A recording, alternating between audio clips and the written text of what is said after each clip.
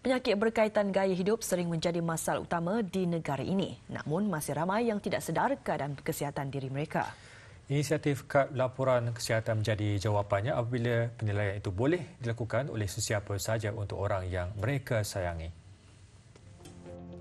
Penyakit berkaitan gaya hidup seperti tekanan darah tinggi, penyakit jantung, kanser dan kolesterol semakin meningkat di negara ini.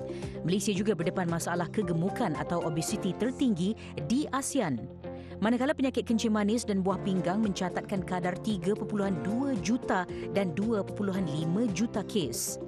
Justru, AIA sebagai antara pengendali takaful terbesar melancarkan kempen menilai tahap kesihatan secara dalam talian.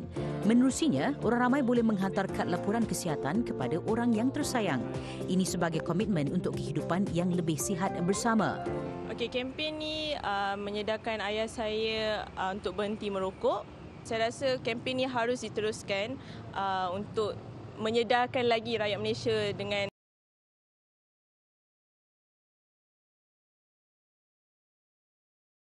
didik rakyat tentang kesihatan mereka. Kempen istimewa ini menerima sambutan hebat daripada seluruh rakyat Malaysia. Okay, uh, saya tahu dari kawan-kawan saya, kita ada jumpa dan makan sama-sama. Dan diorang ada bincang pasal head report, report card ni. So uh, dari situ saya tahu uh, tentang kempen ni dan sekarang saya tengah evaluate abang saya memang dia terkejut dan dia marah saya kenapa dia dapat grade F. Peningkatan kos penjagaan kesihatan juga antara faktor mengapa orang ramai perlu mengambil berat mengenai kesihatan mereka. Sila layari laman sesawang yang tertera untuk memulakan langkah anda dan hantar segera kad laporan kesihatan kepada mereka yang tersayang.